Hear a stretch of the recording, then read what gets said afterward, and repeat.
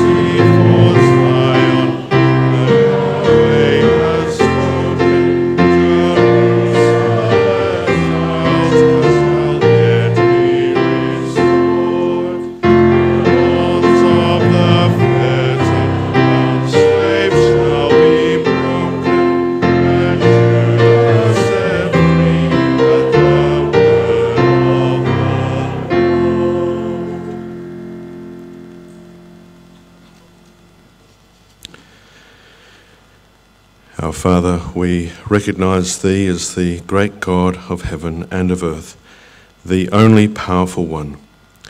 We thank Thee for our knowledge of Thee and of Thy Son, our Lord and Master, Jesus the Christ. And we thank Thee for Thy word that we are able to read as often as we would, with the full permission of the government of this country. And we thank thee for the more sure word of prophecy, to which we do well that we take heed, as unto a light that shines in the dark of this crazy and tumultuous world, until the new day dawn, and we will be with our Lord for evermore. Please guide our time together this afternoon. We are so grateful for the opportunity to meet for the guides and the understanding we have to tap into thy word, and for the very real fulfillments in prophecy that we can consider. And the fulfillments that we, we do see give us absolute confidence that the prophecy of the return of thy Son will be fulfilled too, and that his return must be near, and may it come soon. And so we ask that thou would be with our time this afternoon, with our presenters, and with the hearts of every person here and those watching, that everything may be done to thine honour and to thy glory. And we approach before thee through the name of thy dear Son, our Lord Jesus Christ. Amen.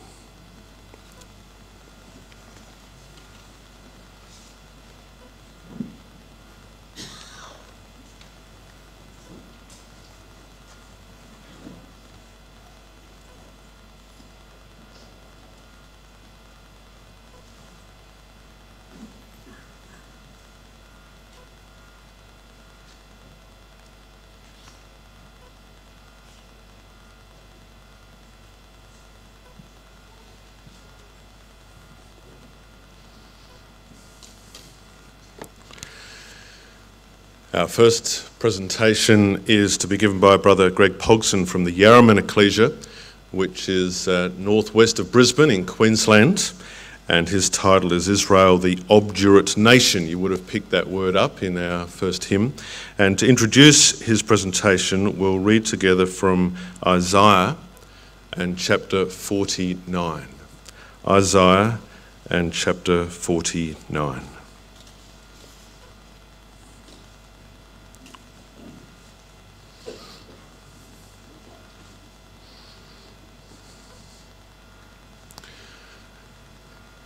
Isaiah 49. Listen, O isles, unto me, and hearken ye people from afar. The Lord hath called me from the womb, from the bowels of my mother hath he made mention of my name. And he hath made my mouth like a sharp sword, in the shadow of his hand hath he hid me, and made me a polished shaft, in his quiver hath he hid me and said unto me, Thou art my servant, O Israel, in whom I will be glorified. Then I said, I have laboured in vain. I have spent my strength for naught and in vain. Yet surely my judgment is with the Lord, and my work with my God. And now, saith the Lord, that formed me from the womb to be his servant, to bring Jacob again to him Though Israel be not gathered, yet shall I be glorious in the eyes of the Lord, and my God shall be my strength. And he said, It is a light thing that thou shouldst be my servant, and to raise up the tribes of Jacob, and to restore the preserved of Israel. I will also give thee for a light to the Gentiles, that thou mayest be my salvation unto the end of the earth. Thus saith the Lord, the Redeemer of Israel, and his Holy One, to him whom man despiseth, to him whom the nation abhorreth, to a servant of rulers. Kings shall see and arise. Princes also shall worship, because of the Lord that is faithful, and the Holy One of Israel, and he shall choose thee.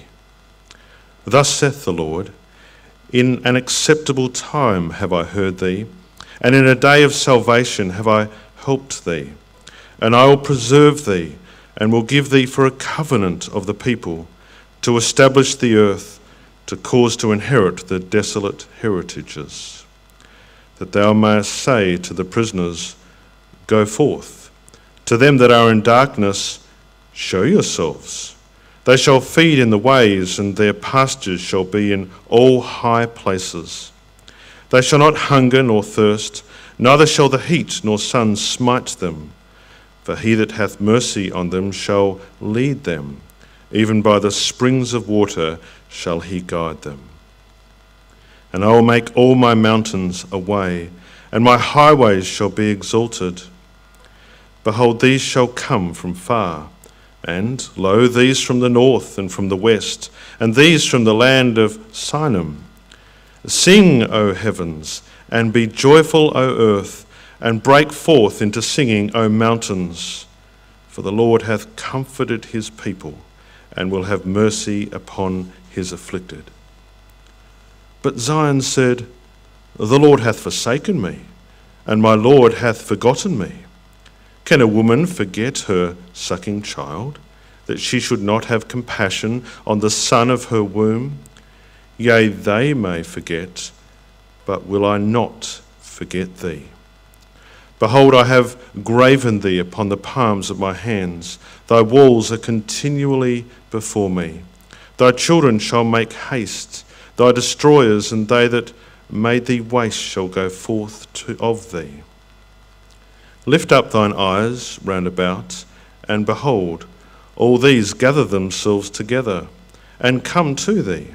As I live, saith the Lord, thou shalt surely clothe thee with them all, as with an ornament, and bind them on thee, as a bride doeth.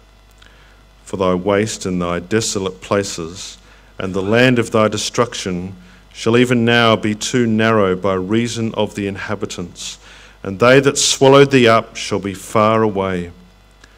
The children which thou shalt have after thou hast lost the other shall say again in thine ears, The place is too strait for me. Give place to me that I may dwell. Then shalt thou say in thine heart, Who hath begotten me these, seeing I have lost my children, and am desolate, a captive, and removing to and fro? And who hath brought up these? Behold, I was left alone. These, where have they been? Thus saith the Lord God Behold, I will lift up mine hand to the Gentiles, and set up my standard to the people, and they shall bring thy sons in their arms, and thy daughters shall be carried upon their shoulders. And kings shall be thy nursing fathers, and their queens thy nursing mothers. They shall bow down to thee with their face toward the earth, and lick up the dust of thy feet, and thou shalt know that I am the Lord, for they shall not be ashamed that wait for me. Shall the prey be taken from the mighty, or the lawful captive delivered? But thus saith the Lord Even the captives of the mighty shall be taken away, and the prey of the terrible shall be delivered.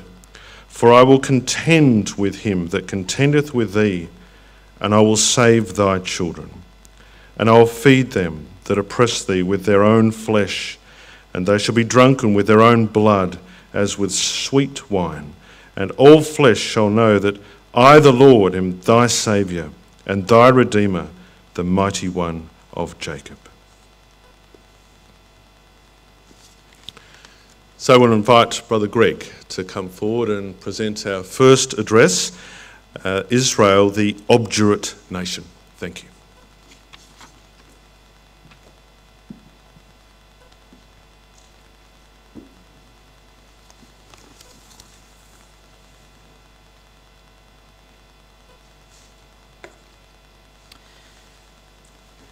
Thank you, Brother Chairman, my dear brothers and sisters, in the confidence that we have of this more sure word of prophecy, and of course, our young people.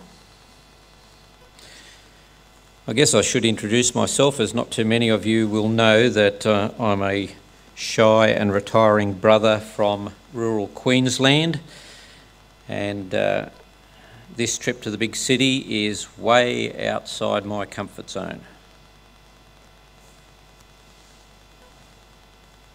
Let me explain that um, where I live is a small country town with a population of uh, 3,599 people, according to the last census.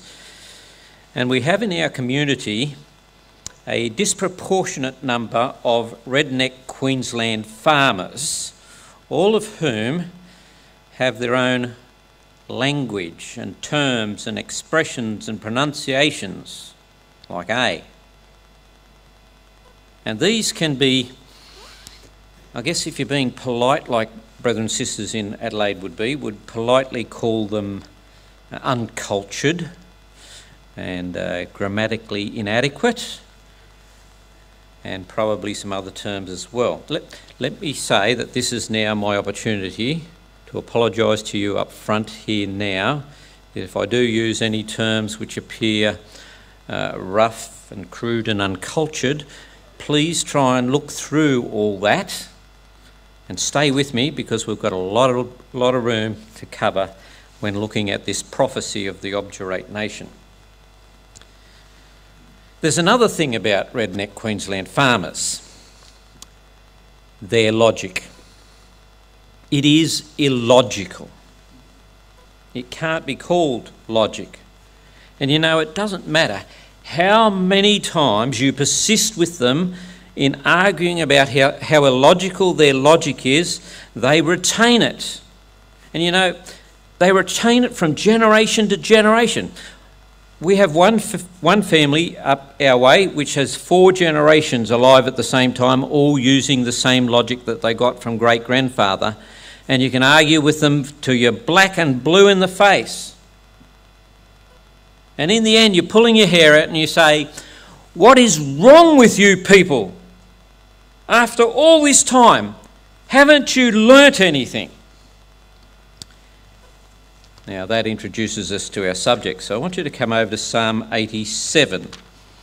And as you turn over to Psalm 87, I want to tell you about my mother.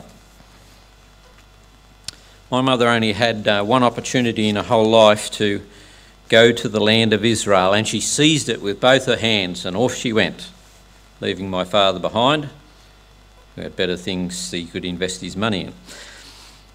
When she came back from that trip, she said to me, When I walked through the Jaffa Gate into Old Jerusalem, this feeling came over me. Psalm 87, verse 5. And of Zion it shall be said, This and that man was born in her, and the highest himself shall establish her. Yahweh shall count when he writeth up the people that this man was born there. You see, my mother had this feeling that she belonged there in Old Jerusalem, that she was born there. And so Psalm 87 became one of her favourite passages. And I always remember her telling me that with such depth and feeling. Well, you know, about a dozen years later, I had my first opportunity to go to Jerusalem. We arrived in Jerusalem late in the evening. We walked into our hostel room, and right there before us, straight out the window, was the Jaffa Gate. And I fell to sleep that night with the last vision in my mind of the Jaffa Gate. I arose the next morning, and the first thing I saw out the window was the Jaffa Gate. And I was keen to get there. Don't ask me what I had for breakfast, but I do remember that our guide was lingering too long for breakfast. I wanted to get to that Jaffa Gate. So off I went to the Jaffa Gate. And I photographed it. And then I walked into the Jaffa Gate and stopped and looked around and waited for that feeling to come over me. And nothing happened. I thought, oh dear, this isn't good. So I decided I'd walk through the Jaffa Gate into the old city of Jerusalem itself and stop about 30 metres into the city and just wait for the feeling to catch up with me. And as I'm waiting for this feeling to catch up with me, I'm looking around. And I notice something. Money changer, money changer, money changer, money changer. Four money changers, all within 30 metres, could be seen within 30 metres of that gate. And a feeling did come over me. I thought, what is wrong with you people? After all this time, haven't you learnt anything? This is the same issue that Jesus Christ had with you 2,000 years ago, and you're still doing it. And Psalm 87 was soon forgotten, and Zechariah 14 came into play for me, and I said, This whole place needs destroying by a great earthquake. Take it away. And you know what? That's exactly what's going to happen. Their eternal city will disappear. And quite frankly, I've got no problem with that now that I've seen it. By the way, um, those money changes are now called foreign exchanges, but it's the same thing, really. And it doesn't take long for you to have a look at their signs, and you'll see the word change or changer on those signs before very long. Now, for our purposes today, I want to pick out prophecies about the Jewish people themselves. Not so much about the nation or the state, but the Jewish people themselves. You see, when you visit Israel today, you immediately notice two groups of people. They're known as the secular Jews and the Orthodox Jews. The secular Jews have no specific form of religion, really. They're not committed to anything. They are your everyday modern Jew who looks just like any other Western person that might even be visiting the place, except most of them are walking around with guns over their shoulders. And then on the other hand, you have the Orthodox Jews. And they stand out because of their code of dress. And um, those codes can change quite a bit. They can start from simple little skull caps to some very formal, full regalia of um, their mitre boxes on their heads and their black caps and gowns and prayer shawls and all those sort of things. So the term Orthodox is fairly fluid in Israel and the world for that matter, uh, and so are their practices. So you will have, say, Coptic Jews that, that are influenced by their Egyptian history and their African diaspora or you could have Sephardic Jews who are influenced by their Spanish and, Spanish and Portuguese uh, diaspora, and then you have the Ashkenazi Jews, which are influenced by their German diaspora, and then you can get Orthodox Jews and ultra Orthodox Jews, and then you can get Hasidic Jews and Haredi Jews, and you can have Ashkenazi, Hasidic, ultra Orthodox, etc., etc., etc. So there's a great variety of these Orthodox Jews, all of which have their own different beliefs and practices and focuses. But they all come under the same banner of Orthodox Jews or, or Judaism. And all of them are in unbelief of the Messiahship of Jesus. Now, for our purposes, we will focus largely on the Orthodox Jews because really they do wield quite some influence even amongst the secular Jews. For example, at the moment, the caretaker Prime Minister of Israel, Yair Lapid, is a secular Jew. However, it was only about five or six or seven years ago that he was the politician who pushed the hardest for military exemption for ultra Orthodox Jews. So clearly, the ultra Orthodox Jews had wielded some influence upon Mr. Lapid. You know, there's this other example in more recent times. You'll remember the lately they've had the um, American elections. And Mr. Trump, just before those elections, you'll remember, was pulling together all these accords with these Arab nations around him, United Arab Emirates and Bahrain and so forth, and he was getting these great economic ties happening for Israel. He was doing them a, a great lot of good. And then came the election. And when the election was done and dusted, and, and Mr.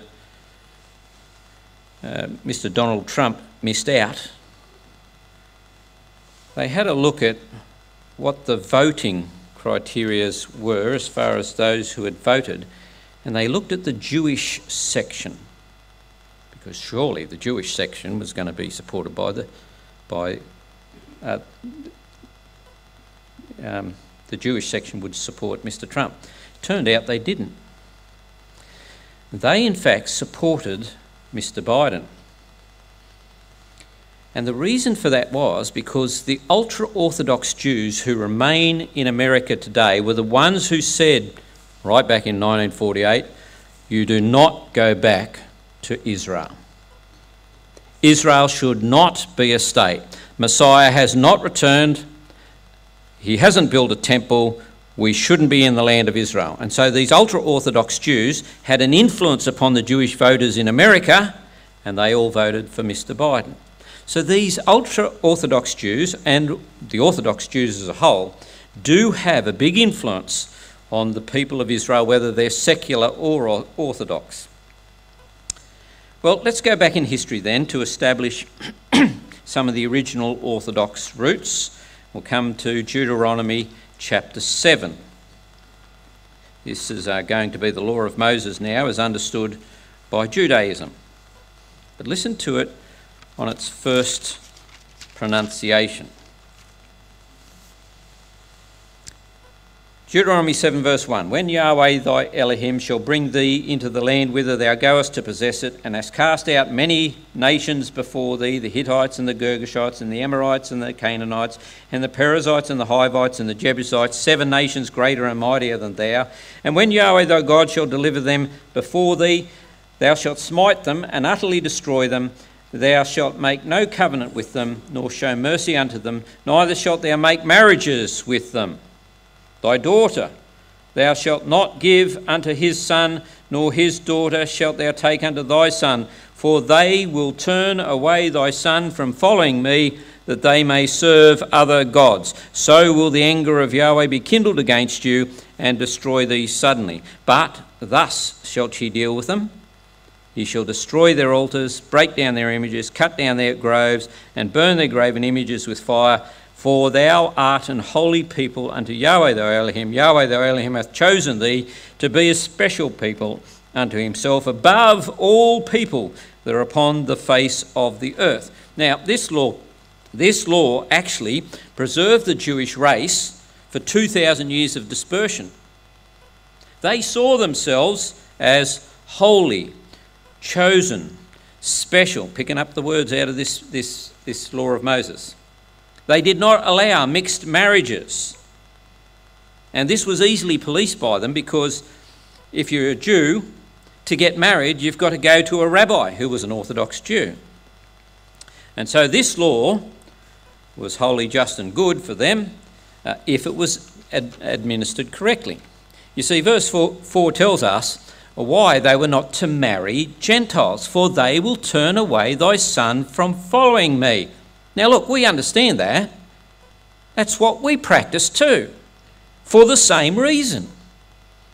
But somewhere along the historic timeline, orthodoxy changed the reason by focusing now just on verse 6 For thou art an holy people unto Yahweh thy Elohim. Yahweh the Elohim hath chosen thee to be a special people unto himself, above all people that are upon the face of the earth. And so Orthodoxy said, You do not marry Gentiles because we are special and holy and chosen, and we're above all those dirty goyim.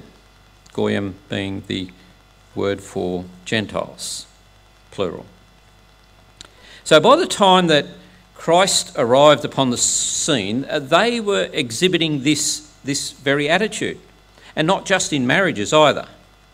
You know, they had a practice in Christ's day that when they travelled abroad, upon returning to the, the very border of the, of the Holy Land, they stopped, they undid their sandals, they stepped barefooted into the Holy Land, they reached back over, picked up their sandals, shook the dust off them, the dirty Gentile dust, put them back into the Holy Land, and put them on, and away they went. Such was their attitude towards the Goyim. Their, even their dirt was dirty, and they'd have nothing to do with it. Now, you come with me to Luke chapter 20, where the Lord told a parable of the vineyard. One of several parables he told of the vineyard. And in this one, the owner sends his servants to receive the fruits of the vineyard, and the servants were beaten and hurt and sent away empty. And in the end, he sent his beloved son, whom they also killed. now, you look at this in Luke chapter 20 and verse 15. So they cast him out of the vineyard and killed him. What therefore shall the Lord of the vineyard do unto them? He shall come and destroy these husbandmen and shall give the vineyard to others. And when they heard it, they said, God forbid. You see, the Jews in Christ's day said, God forbid. They knew that they were the husbandmen in the parable. They knew that the Lord of the vineyard was God. They knew that Jesus was saying that God was going to destroy the Jewish husbandman and then give his vineyard to other nations, the Goyim. And in utter horror of such an idea, they said, God forbid, this is no way possible that God would ever give his kingdom to dirty Goyim. Ever. And to this day, Orthodoxy Jewry have perpetuated that belief from generation to generation, despite the fact they'd lost their kingdom, they'd lost their land, they'd lost their temple 2,000 years ago. Surely, wasn't that God destroying the Jewish husbandman? And you know, for 2,000 years, they had wandered from Goyim to Goyim, nation to nation.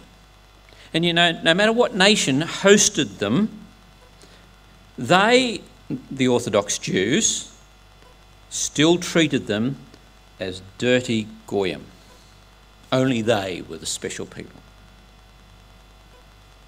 You see, it was that form of racism, this, that, that vilification of all the other nations which became one of the underlying reasons why the other nations have hated them the world over. Their segregation and their aloofness and their unusual orthodox practices became odious to their host nations. But after 2,000 years, they still haven't learnt. Which begs the question what will it take for them to admit that God had indeed cast off his people? What will it take? Well, there's one thing for sure it's going to have to take something more than the Holocaust. Because the horrors of the Holocaust didn't change them. They still don't like Goyim. And I tell you, you feel it most when you go to the land of Israel. And, and I suggest that you go as a small group. See, if you go as a big group, you're treated as tourists and you're steered here and there to tourist sites. But if you go as a small group, you can go into their streets without them knowing that you are, in fact, English. I don't like the English. You can go into their streets without them knowing that you're Goyim. And you can have a look at the way in which they live and the way in which even the Orthodox Jews do not like Jews who are sympathisers of Goyim. let me tell you about an experience of mine on my, on my first trip to, to Israel. Mind you, I thought I was going to be a, a little clever. I thought I'd subtly uh, sidle up to this Orthodox Jew and ask him about Isaiah 53, you know, and I'd, I'd use the Ethiopian eunuch's statement, you know, um, of whom speaketh the prophet this, of himself or of some other man. So I, I sidled up to this man who was in his full regalia and I said to him, uh, Excuse me, can I ask you a question about Isaiah chapter 53? And the response I got was a whole heap of Hebrew words, and he just then walked off. And the only Hebrew word I understood was goy, singular for goyim. He had no time for me because I was goy. And I'm guessing he picked that up because I was speaking English. Wouldn't have been my Australian t shirt I had on. But they've got no time for goy or goyim. So, what will it take to change Orthodox Jewry? Well, let's consider the Holocaust first. You know, when I was going to school, I'm pretty sure that I was taught that there was 2 million Jews killed in the Holocaust. But today, you go to any Holocaust museum and they will emphatically tell you there were 6 million Jews killed in the Holocaust. 6 million. And you know, many Jewish authors have said that the Holocaust happened because we allowed it to happen. And they're not going to let it happen again. It was the darkest moment in their history, and they will never allow it to happen again.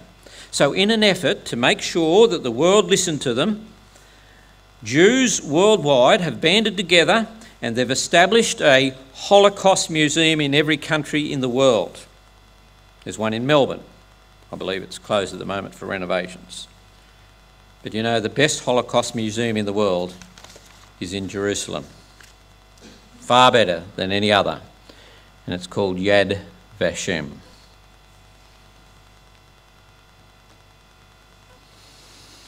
And I've been to Yad Vashem twice, 10 years apart. And I'm telling you, it's getting more and more impressive every time. You see, the Jews know how to make an impression, to make a visual impact that will last forever. So much so that, well, you can ask, well, no, you can't ask my wife, she didn't come here, but, but when she walked out of Yad Vashem, she said, The shoes. Did you see the pile of shoes? I will never forget the shoes. And that's exactly what the Jews want. They want to make that impression. They want you to feel their pain and their shame and their reproach so that never happens again. Again, again, whatever pronunciation. Now, now it's time to turn our attention to Isaiah chapter 49. Let me tell you that uh, as you turn there, this prophecy is no different to any other prophecy in that the initial audience was meant to see some relevance in their own days. Just as Deuteronomy 18 said, when a prophet speaketh in the name of Yahweh, the thing follow not, nor come to pass, the prophet hath spoken presumptuously, thou shalt not be afraid of him. So, for every prophecy, the people of the day would, were to see some sort of relevance in the, those days so that they would then attest to the veracity of the prophet. But the more interesting element is always the secondary and or the tertiary application of these prophecies. Okay, so here's Isaiah 49. Let's read verse 1 and 2. Listen, O isles, unto me, and hearken, ye people from far. Yahweh hath called me from the womb, from the bowels of my mother hath he made mention of my name, and he hath made my mouth like the sharp sword, and in the shadow of his hand hath he hid me, and he made me a polished shaft, in his quiver hath he hid me. now, of whom doth the prophet speak? Well, initially, that could be said of Hezekiah, called from his mother's womb, specially sharpened for a particular job and so that he could see the folly of his father. And then he was hidden away so that he survived his father's rampage to offer his, all his children unto to Moloch. So it could be said of, of Hezekiah, and that's why verse 3 and uh, it says, And said unto me, Thou art my servant, O Israel, in whom I will be glorified. Then I said, Well, I've laboured in vain. I've spent my strength for naught and in vain. Yet surely my judgment is with Yahweh and my work with my Elohim. And so Hezekiah, actually in Isaiah chapter 37, when Rabshakeh was rattling on the gates of Jerusalem and all, all hope appeared to be lost, Hezekiah sent a message to Isaiah and he said, The children are come to the birth, and there's not strength to bring forth.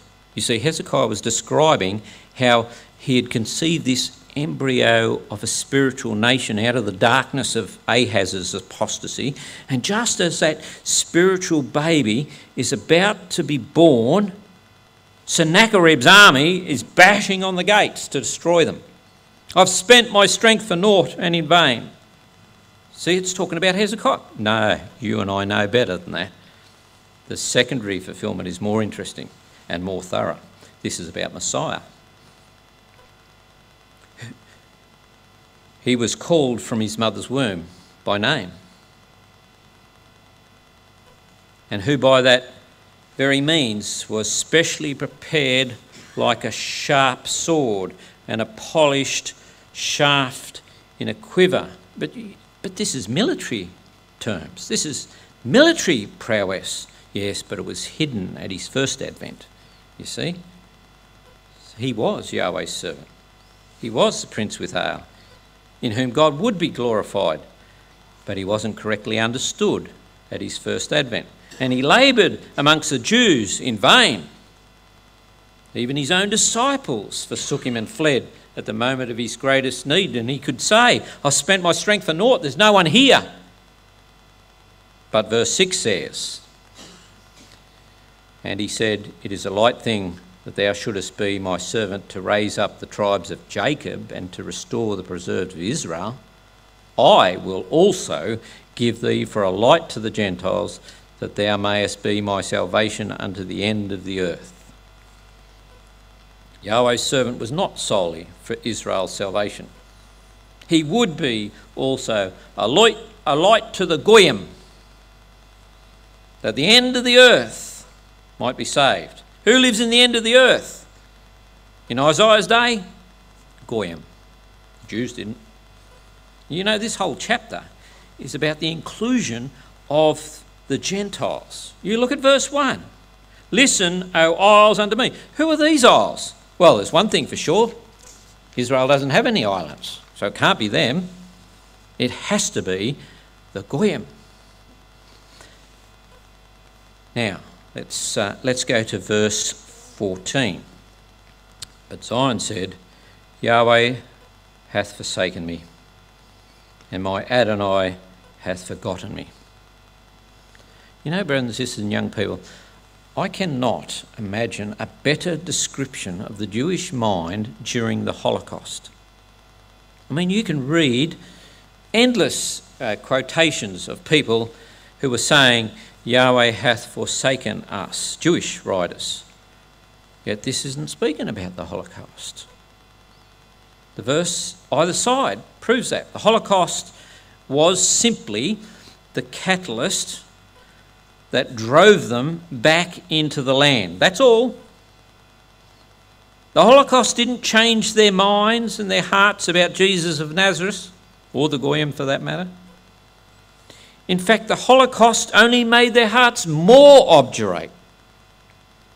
Verse 14 is speaking of Armageddon. Now, you look at verse 19. It says, for thy waste and thy desolate places, and the land of thy destruction, the land singular.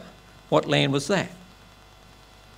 Put a marker here in Isaiah chapter 49, and now let's come over to Zechariah chapter 13. And we're going to spend a, few minutes here in the prophecies of Zechariah and try and piece them all together. Because Zechariah, a bit like Isaiah, can be a bit like an ADHD child and he's all over the place. So we're going to try and follow this through. What was the land of their destruction? Well, let's try Zechariah chapter 13 and verse 8. And it shall come to pass in that in all the land, Eretz, saith Yahweh, two parts therein shall be cut off and die, but the third shall be left therein. And I will bring the third part through the fire, and will refine them as silver is refined, and I'll try them as gold is tried. And they shall call on my name, and I will hear them. I will say, It is my people. And they shall say, Yahweh is my God. Brothers and sisters and young people, this prophecy actually is quite disturbing, so I hope you have a fairly strong constitution. Because Zechariah 13 is futuristic, hasn't happened yet. In fact, it keeps on saying, in that day, in that day, future tense, verse 1, verse 2, verse 4, verse 9 hasn't happened yet. They shall call on my name. Verse 6 hasn't happened yet. So when verse 8 said, two parts therein shall be cut off and die, that is yet to happen in that land of their destruction. Two thirds of the Jewish population in that land will die at Armageddon. Two thirds, 66.6%. That's horrific. Do you know what the population of Israel is? 2021, last year, their population was 9,440,000, which means if Armageddon happens tomorrow, the Jewish death toll will be 6.3 million people, more than the Holocaust. But the Jews are determined that that will never, ever happen again. There will be another Holocaust. And this time it's going to happen in their own land. And I tell you, that will completely crush the Jewish spirit, whether they're Orthodox or secular. You look at Zechariah chapter 14, verse 1. Behold, the day of Yahweh cometh, and thy spoil shall be divided in the midst of thee. For I'll gather all nations against Jerusalem to battle, and the city shall be taken, and the houses rifled, and the women ravished, and half of the city shall go forth into captivity, and the residue of the people shall not be cut off from the city. Can you possibly imagine the impact of that on a Jew? Especially an Orthodox Jew. Jerusalem, their eternal city, captured again by those filthy Russian Goyim. How are they going to handle that? No Jew will lift up his head. Half of them are actually dragged off to POW camps or concentration camps. The Holocaust is happening to them all over again. The shame, as they're dragged off as a broken and dejected people, dragging their feet in the dust as they're led off to captivity. And two thirds of the population is dead. Imagine the pain. What more could go wrong for them? Well, I'll tell you. Come back to chapter 13 and verse 8. Now, and I want you to watch this time how I read this because perhaps you haven't noticed this before. Okay? Zechariah chapter 13, verse 8. It shall come to pass that in all the land, saith Yahweh, two thirds, two, two parts therein shall be cut off and die, but the third shall be left therein, and, on top of that, and I'll bring the third part through. Look at that next word. That's not a pronoun. That's a definite article. So he's not saying, and I'll bring the third part through that fire of verse 8. He's saying, no, this is the fire. On top of what's happened in verse 8, I will bring them through the fire. And look at the fire. It has two purposes. I'll refine them as silver is refined.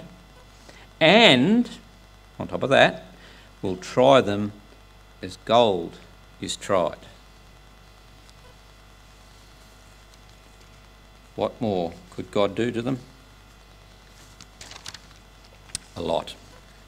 He's already killed 6.3 million of them. What could be worse than that? Well, here it is in Zechariah chapter 14 and verse 4. And his feet shall stand in that day upon the Mount of Olives, which is before Jerusalem on the east. And the Mount of Olives shall cleave in the midst thereof toward the east and toward the west. And there shall be a very great valley, and half of the mountain shall be removed to the north, and half of it toward the south. And ye shall flee to the valley of the mountain, for the valley of the mountain shall reach unto Azel. Yea, ye shall flee like ye fled from before the earthquake in the days of Uzziah, king of Judah. And Yahweh my Elohim shall come and all the saints with thee. That's telling us that the whole of Jerusalem will be swallowed up in an earthquake. The whole city gone. Verse 10 tells us that it will be just this great big flat plain as far as you can see.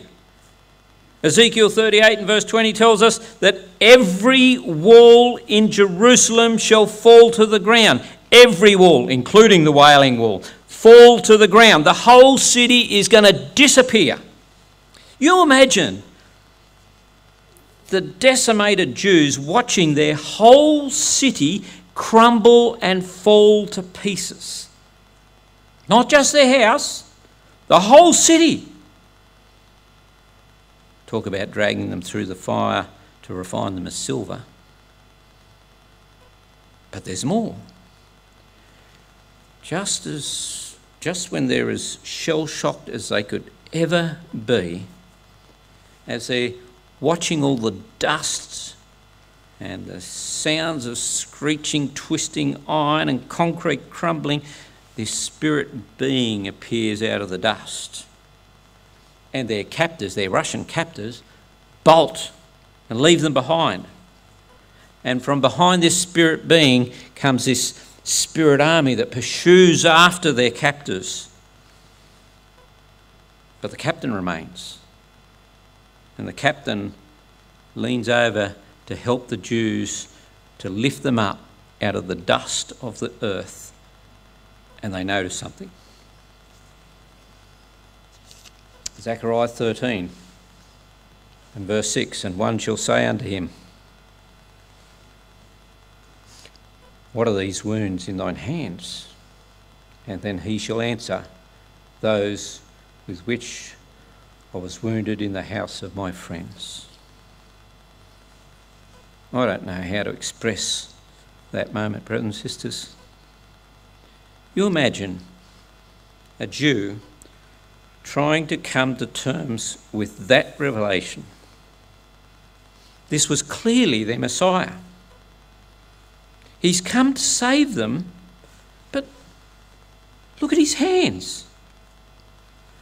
And, and listen to what he said about those hands. Of all the things, you know, for, for 2,000 years, every dirty Goyim nation of the world had said that Jesus of Nazareth was the Messiah and that, that we Jews killed him and, and that God had rejected us for, for doing that. And, and, and now look, we Jews got it all wrong. How could we have got it so wrong? How are we going to how are we going to, to, to live with the shame of this? We, we just worthless, stupid, stubborn. Talk about bringing them through the fire to refine them as gold. Now let's look at Zechariah chapter 12 and verse 9. It shall come to pass in that day that I'll seek to destroy all the nations that come against Jerusalem, and I'll pour upon the house of David and upon the inhabitants of Jerusalem the spirit of grace and of supplication, and they shall look upon me, whom they have pierced, and they shall mourn for him as one mourneth for his only son, and shall be in bitterness for him as one that is in bitterness for his firstborn. In that day shall there be a great mourning in Jerusalem, as the mourning of Hadad Rimmon in the valley of Megiddon, and the land shall mourn every family apart. the family of the house of David apart, and their wives apart, the family of the house of Nathan apart, and their wives apart, the family of the house of Levi apart, and their wives apart, the family of Shimei or Simeon apart, and their wives apart. All the families that remain, every family apart and their wives apart. Now, brothers and sisters and young people, that's not a normal Jewish mourning. The Jews are a demonstrative people. You know, even in the days of our Lord, they had hired mourners at funerals to express this great public display of anguish. But this, this is unbelievable. The house of David apart from the house of Nathan. Nathan was the son of David. You know, if ever you need your family around you, it's when you're in great grief. But no, not here every family apart, and even within each family, the husband mourned on his own, apart from his wife, who was also over here mourning her heart out alone as well. And Simeon and Levi, you know, the, the instruments of cruelty, the hardened men that could walk into a city and slay every single man without an inch of remorse,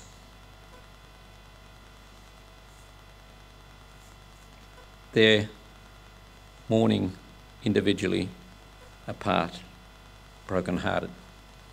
And Levi, of all people, I mean, Levi means the joiner. They were the ones who brought the, the nation together by a knowledge of God's law they couldn't keep them together. They couldn't even keep their own households together. They couldn't be joined. They each individually mourned in their own privacy and shame. Such will be the shame and the grief. Such will be the refiner's fire. Now it's time to come back to Isaiah chapter 49. After all that has befallen the Jews, Isaiah now paints a picture of her as a bereaved woman and a bereaved mother.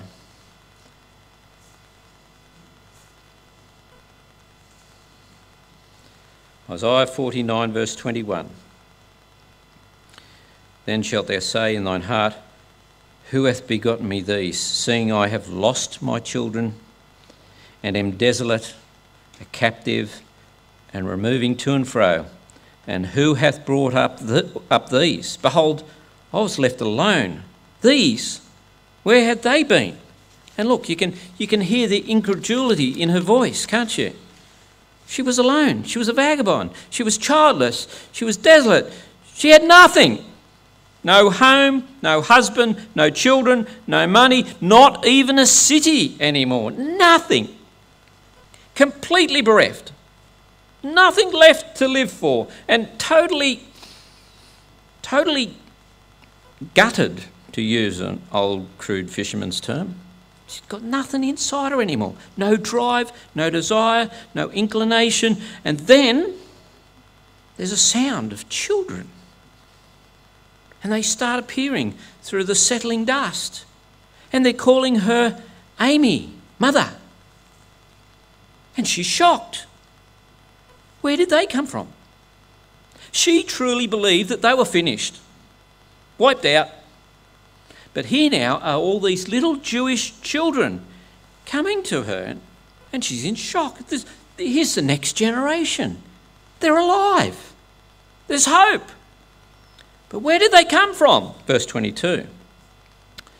Then saith Adonai Yahweh, Behold, I will lift up mine hand to the Gentiles and set up my standard to the people, and they shall bring thy sons in their arms, look at the margin, and they and thy daughters shall be carried upon their shoulders. Oh my.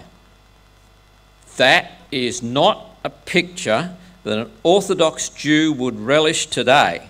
You dirty Goyim, you do not touch our children. No way. But look at this picture. As the margin said, the Goyim bring their sons in their bosom, cuddled up close to their heart. And your daughters are happily carried on the shoulders of the Goyim in a carefree manner.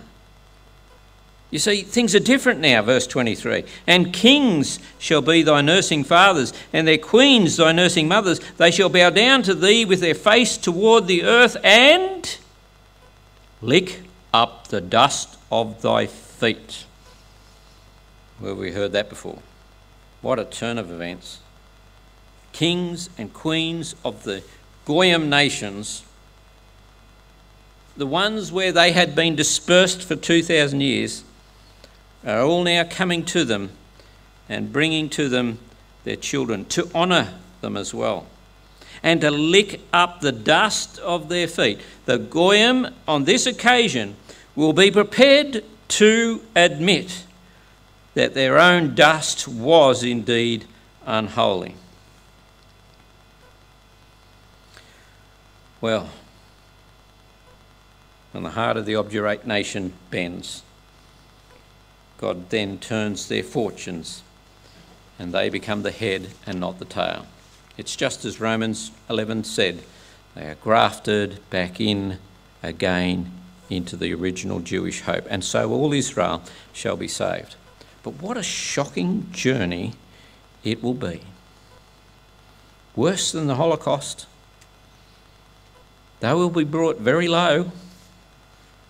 Their children are going to be slain, all their possessions gone. They've got no money, they've got no home, they've got no city, utter desolation, weeping and gnashing of teeth, as the Lord put it. And then in Isaiah 60 and verse 9, this also happens. Surely the isles shall wait for me, and the ships of Tarshish first, to bring thy sons from far their silver and their gold with them unto the name of Yahweh thy Elohim and to the Holy One of Israel, because he hath glorified thee. Not only do the Gentiles bring them their children, they also bring them silver and gold.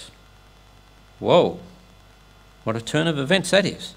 You mean we don't need to set up money changes anymore and stretch the margins to make a profit and to fleece the Goyim? No, the Goyim will turn up and they'll just give you the money.